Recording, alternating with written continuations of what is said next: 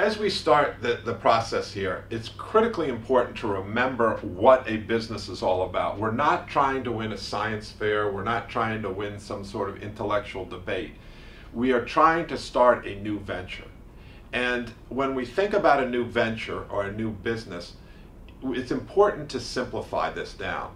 The single, there is one single and necessary and sufficient condition for a business one single and necessary sufficient condition for a business. It is not a business plan. It is not a CEO. It's not a mission statement. It's not a product.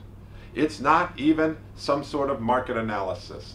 The single necessary and sufficient condition for a business is a paying customer.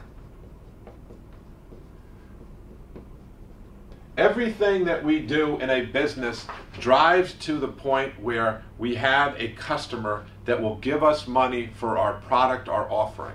And that's very, very important. Sometimes I have students that come in and say, let me explain to you about my nano oscillation technology with carbon fiber tubing and the like.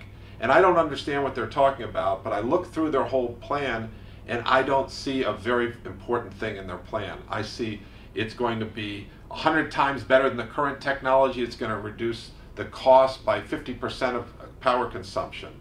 But I point out to them is, you know, you really need to speak to a friend of mine that, and they say, who's that? A friend of mine whose kid is in business. And they say, what kind of business he is? I said, he's in a business that takes lemons. They said, what does he do with the lemons? I said, he squeezes the lemons and he, and he puts sugar and water in it and he makes lemonade and he gets someone to pay them for it.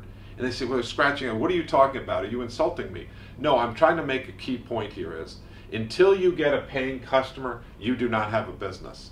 So it's not about how great your technology is. It's not about how wonderful your idea is. It's not about how well you write your business plan or whatever else you do.